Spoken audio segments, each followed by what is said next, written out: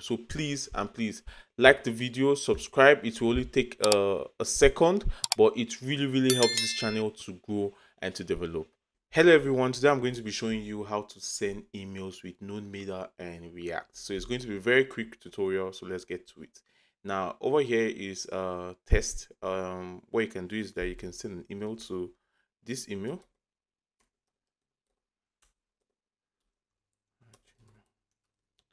and you can just put a subject and you can just put a message and you can send the email. Now in our console when once that runs it's going to show up in our console as success. So if we go to our gmail account we'll be able to see that email. Now how do we create something like this? Very simple. Uh, we're going to have two folders here. We have the client and we have the server. On the client you can just run npm install like I've done here. Uh, over here, npx create react app in the client directory and in the server directory, we're going to do that together. So we're just going to clear this. We're going to say cd, go back. I'm going to cd into the server. And in here, we're going to say npm init.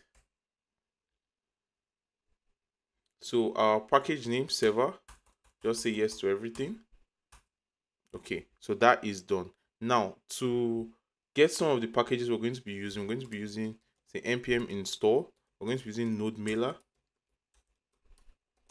we're also going to be using express. We're going to be using CORS and we're going to be using node mon so we're going to allow that to install. And while that is installing we're going to come to our server directory. We're going to create a new file and call it app.js all right so this app.js needs to be in our server directory. So make sure your app.js is in your server directory. So you can see everything here is installed so we're ready to go. So in our app directory we want to say constant express equals to require express. Then we want to say constant NodeMailer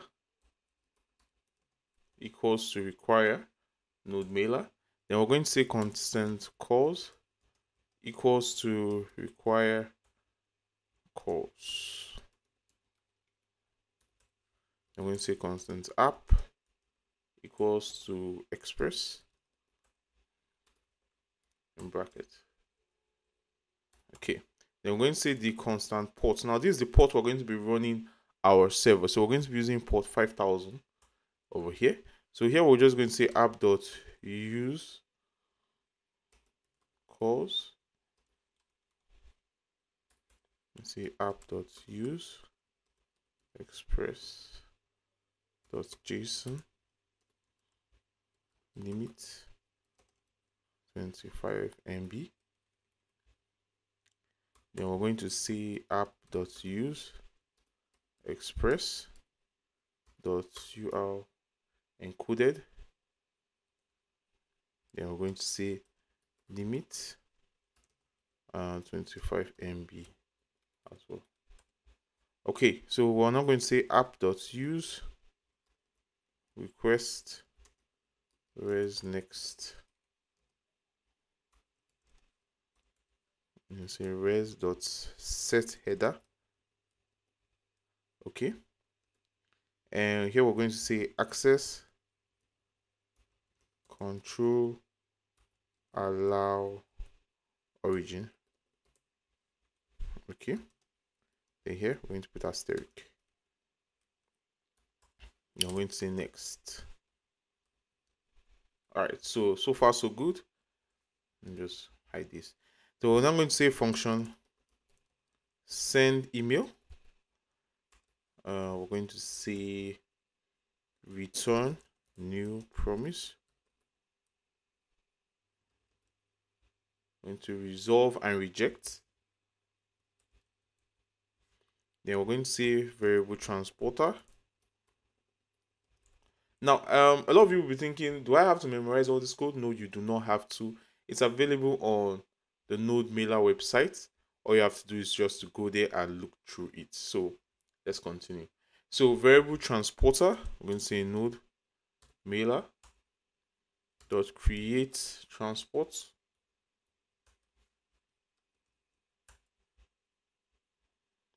and we're going to be seeing service. Uh, you can use google. You can use mail.ru you can also use yahoo. Is all dependent on you. So here i'm going to use google. Okay? Now after service google we're not going to say auth now over here we're going to say user now here you're going to put your email. Example at gmail.com so i'm just going to use this as like example. But over here you should put your email address that you plan to use. Now you also need a password. Now this password is not your regular password it's not your email password. This password can be gotten from your app password setting if you're using your Gmail account. Okay, over here is not Google, sorry, is Gmail. So if you're using Gmail, all you have to do is to go to your Gmail account, go to your security, and search for app password. Now I'm not going to do that here because I don't compromise my settings. Okay, now let me just cut that part. All right, so in your um, Google settings, you just want to come to security, and I want you to just search for app password. So over here in app password, you just click on it and you create a new app password. It will show you the password which you will be placing here. Okay, it is not your Gmail password. It is an app password that you get from Gmail. So even when you want to use another service like mail.ru, you just go over to your settings and search for app passwords. These are third, these are passwords that are given to third party applications to be able to send emails on your behalf. Okay, so it's very very simple to get um that password. All right, so let's continue to what we were doing. Now, in our password, we've settled that already. So this is our transporter over here. So we're just going to leave that as it is. Now we're also going to come to constant mail underscore configs this is configuring the mail that we're sending to our users okay? So we're saying from uh, example example at gmail.com okay? And we're saying to email okay? Okay no. Now um we're going to be getting in our send email we're, we're going to be getting our email. The email we're sending to we're going to be getting the subject I'm going to be getting a message. So over here, we can now say to the email that we're sending to, and the subject should be the subject that we have, and then the text should be the message. Now, if you're confused by what I did here, it's this is just simply doing this. It's the same thing, okay? So we're saying the subject uh, property should be filled by this subject that we're passing through this function, okay? So it's very, very simple, right? So now let's continue. We've gotten our mail configuration. We've gotten the user's email, the user email we're using, and the app password, okay? And the service we're using is Gmail, okay? So we've set all of that up. Now we need to um, create a function that will send the email. So we're going to say transporter transporter dot send mail okay mail underscore config configs then we're going to say function error and info. Then here we're going to say if error okay? We're going to say console.log error. And return reject message an error occurred. Okay? Is this occurred spelled right? No, we need another R. Exactly. So after that, we're going to say return, resolve, message, email sent successfully. Okay, so that's that for that now we need to configure our port because uh, on our client end we're going to like um, um, fetch that API. This is going to be like an API call. So we're going to be fetching that from our client side. So we need to configure how we are going to like access this function. So what we're going to say, we're going to say app.get slash. Now this slash is is simply saying for us to access this function, uh, you can just type in on your browser, say localhost dot uh, no sorry it's wrong. Uh, you see localhost 5000 slash. Now the reason is 5000 is because that's the port we're using here. You can always configure this to be any port you want. It depends on you. Then slash is what we're using here. You can also say send email. Then for you to access uh, this function that we're going to work on you have to send you have to use it like this send email. Okay? I know i know that makes sense. If it doesn't make sense let me know in the comments. I will explain further for you personally okay? So here we just need a slash. So over here we're going to say request res okay so this is the function. Now we're going to say send email right? Um request dot query and we're going to say dot then response result send response dot message. Okay? Then we're going to say dot catch error res dot status 500 dot send error dot message.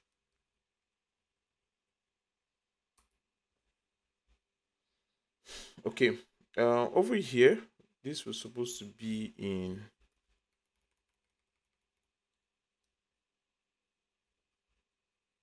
okay yeah. All right then we also need to say app.listing see port.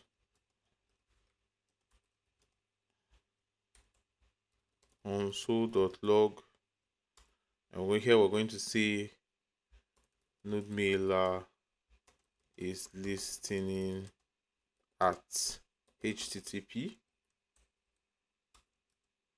slash slash localhost and then the port number. Okay so we've configured our our, our backend here but i'm going to change this port to 4000 because i already have something running on 5000 i don't want it to get like conflicted. Now let's run this server to run the server all you have to do is use node mon and say app.js okay? And you click on it. Now you can see and node mailer is listening at um, the port 4000 like we asked it to. Now we're going to go to our client side to configure our uh, this thing what the user is like seeing. So let's go to the client side go to app.js i want you to delete most of these things. You don't you're not really going to need it and your test um logo this and this. Okay so you go to your index. I want to wipe this. Then i want you to go to this code. And just uh, you can just leave that there. Uh, all right so we're wiping this we're wiping this okay exactly now how do we connect this front end to this back end? It's very, very simple. Okay. Now, all we need to do is create another terminal here. And we're going to cd into client this time around. I'm going to clear. Now, we have to import, install, sorry, Axios. Think this is spelling. Yes. We have to install this because this is what we're going to use to do all our fetching. Okay. So here in our div, we're going to say input type equals to text and we're going to say please holder um, recipient email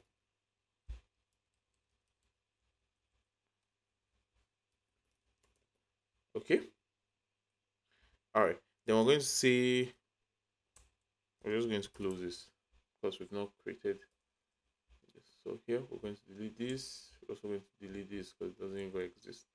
Then over here we're going to say constant email. Set email equals to use state. Okay? Then we're going to do this two times. Uh, we're going to get subject we're going to change here to subject here we're going to change this to message. And here we're also going to change this to message. Okay perfect. Now let's run this so that we can be seeing this on the screen. We don't want to be seeing this one. So we're going to clear this and say npm run dev okay not eh, that's not npm. Okay not npm run dev sorry see keep using uh, next.js codes. Instead um npm start okay so we need to run it on another port because i'm using that port already. Okay we need to go to the index and wipe this. Okay so we can see our recipient email here. Uh in our index uh,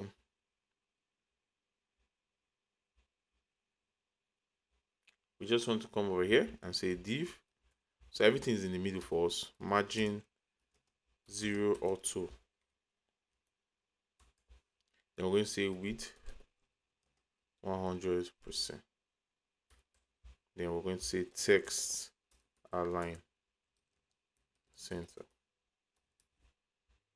Okay? Then in our input we're going to say margin 10 px okay perfect. Now let's go back to our app um, directory. Now in our app directory we need to create the other thing. So here we're going to say on change is it going to equal to a function event and say set email to e dot target dot value okay then we're say pr to say input type text placeholder uh, subject on change. And say e. E the set subject e dot target dot value. Okay. Perfect. Then here we're going to another break line. Then we're going to say text area. Placeholder uh, message. You say on change equals to e e dot target dot value. No it's not correct. Supposed to be set message e dot target dot value. Okay? Okay exactly. So now another break line. And then button and on click we need to send email. Send mail. Okay then we're going to say send mail. All right perfect. Now it says send mail is not defined uh, we're going to fix that right away. So we're going to say here constant send mail equals this equals this so here we're going to say axios we've not imported axios so we're going to say import Axios. Let's go in here. Import Axios from Axios. Hope this is actually installed. Let's check our package.json. Okay, it's here. It's here. It's here. All right, so we have Axios here. So we're going to say dot get http localhost 5000 so this is not 5000 this is 4000 remember remember. Okay so here we're going to say params. And the params we're going to send we're going to need the email. Like remember when we're creating the app.js here we need our email we need our subject and we need our message. And the reason this is getting passed to this function is from here. In our send email when anyone queries this our request.query is being put into this bracket here which is now sent over here, which now extracts the email subject and message. So we need to pass in the email, the subject, and the message. Okay, so that's why we're passing that there. So after this happens, then we're going to put a promise. Is a promise. We're to then, if it's successful, we're going to say console.log uh, success. Okay very simple. Then if it's not successful we're going to say catch the error. I'm going to say console.log failure. Okay so isn't this perfect? All right so let's send our email to smartjeremy at gmail.com and subject we're just going to say ninja coder and here we're going to say it works. This i'm going to send you. Okay so we can see here it shows success. Wonderful. Now if we go over to the gmail that we sent it to. All right so we can see it here showing it works and ninja coder so isn't that amazing so that's how you can send emails to users. Now, if you want to send multiple email, email uh, emails to different people, let's say more than one email address, you can easily do that. How can you do that? After you type in the email, right? You just come to the back here and put comma. Then you type in the next email. You can see another email. You can put comma, put space, put another email. Uh, sample at gmail.com and you can continue like that so on and so forth. Just as just make sure you put comma and then the next email okay? That's how you can send email to multiple um, email addresses okay? Now let's say you want to send like a html let's say for instance the message you don't want it to be you want it to be in a html format. Okay so let's say you want to edit the message that the person is sending. You can easily just come over to this text right here right and change this text to html once you change this html this message just cancel it. Then you can put this backticks then you can just say you can use your html tags as you would normally use. Okay uh area okay so over here we can now say this should be the message right? Then we can come down and say in another p tag, say best regards. Okay, so over here, when we come back, we can now send this email.